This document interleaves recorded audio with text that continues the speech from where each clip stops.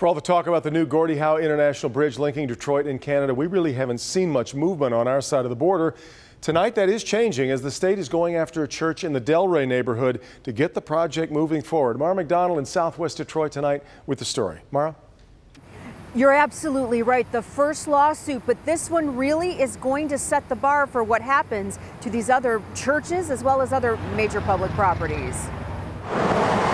Land, what the First Latin American Baptist Church sits on, is crucial to the development of the new Gordie Howe International Bridge. The state is using eminent domain laws to strike deals with landowners in Delray to buy up their property, already offering the church $411,000, an offer to which the church says no thanks. And you feel like you have to do something to survive. You do the best you can. Ackerman tells us for this congregation to survive, it's looking at needing $2 million.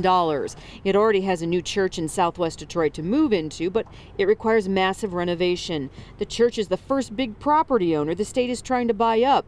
It's the first lawsuit the state has filed to move the bridge project along, which is far further ahead across the border. I think the congregation has faith that in the small f and large f sense that fairness is a result of our judicial system.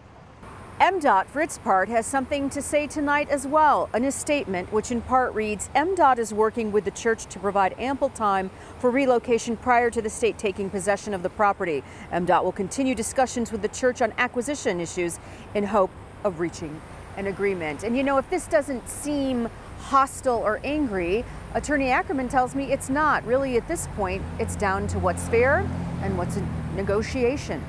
We are in Delray. I'm Mara McDonald, Local 4. Okay, Mara. New